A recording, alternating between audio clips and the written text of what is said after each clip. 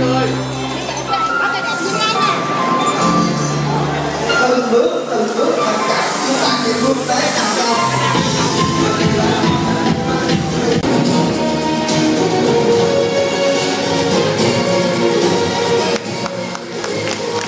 Vâng, chúng ta dành một tràng vỗ tay thật lớn